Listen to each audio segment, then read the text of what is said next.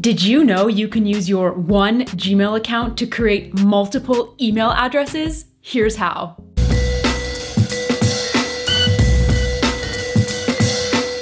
Hey friends, I'm Tasia Custode. Welcome back to my YouTube channel where I share tech tips, app reviews, and a somewhat disturbing amount of Gmail content. Today, I'm showing you how to create multiple email addresses in one Gmail account. And this is important. This is different from mail merge or Gmail forwarding where you combine multiple email accounts. We're creating multiple email addresses within one Gmail account. Let's go. You can create an unlimited number of Gmail addresses using your one existing Gmail address. And there are actually a couple of ways to create multiple Gmail addresses. The first way is called plus addressing. And I've talked about this before in some other Gmail videos, but let's go over it in detail. I'm gonna use my Tasia Custode test at gmail.com account as our example for today. In order to understand plus addressing, we first need to understand the different parts of an email address. And don't worry, it's easy and you won't be quizzed after. My favorite type of learning. Everything before the at symbol in your email address is known as the local part. Everything after the at symbol is the domain name. So your local part is the unique name for your mailbox. Hence, you have one Gmail account, like this Tasia Custode test account.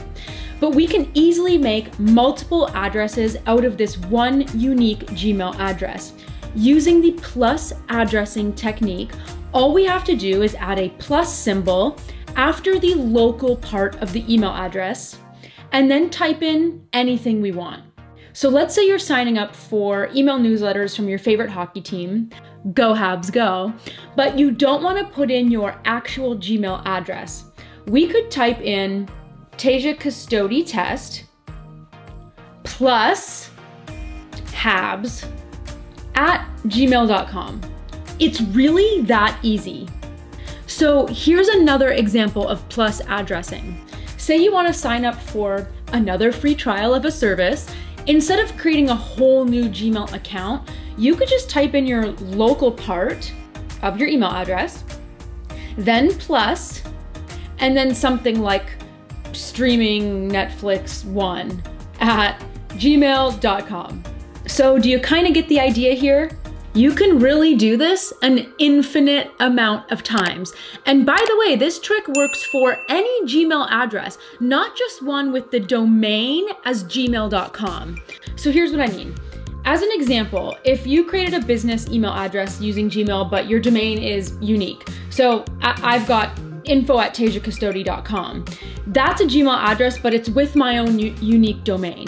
I can use this same plus addressing technique here. So I could make up info plus cooking tutorials at tasiacustode.com.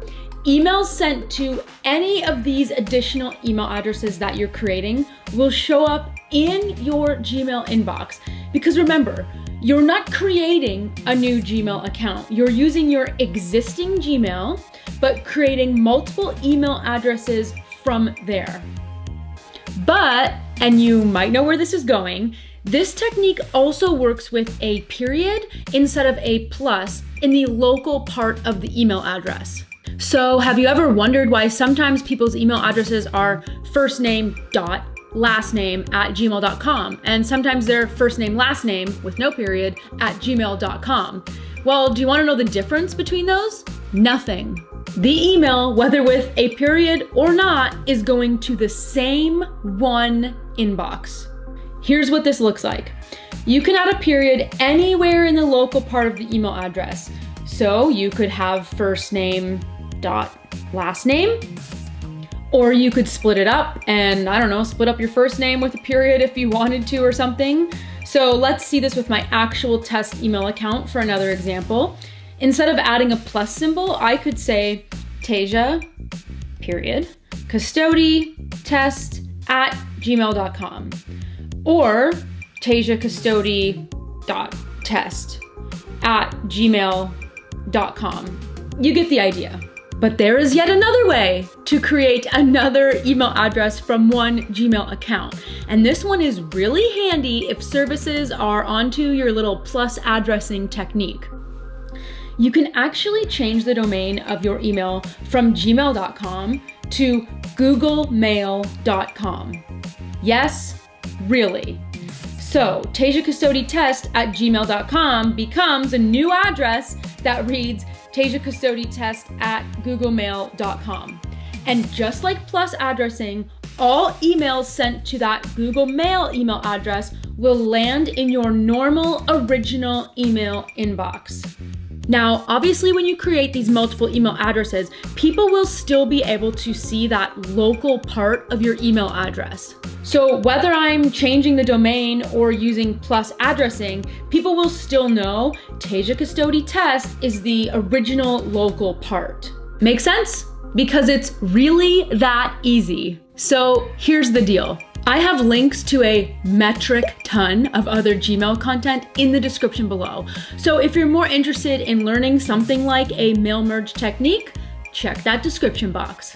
So that's how to create multiple email addresses in one Gmail account. And now I wanna hear from you. Have you used Gmail to create multiple email addresses? Let me know in the comments below. I'm also curious to know if you have done that, how have you organized your Gmail inbox? Let me know in those comments. As always, thank you so much for watching. If you like this video, well, I wanna know. So give it a like, a share, or leave that comment below. You can click right about here to subscribe to my channel, and here and here for, you guessed it, even more Gmail content. Thanks for watching. See you next time.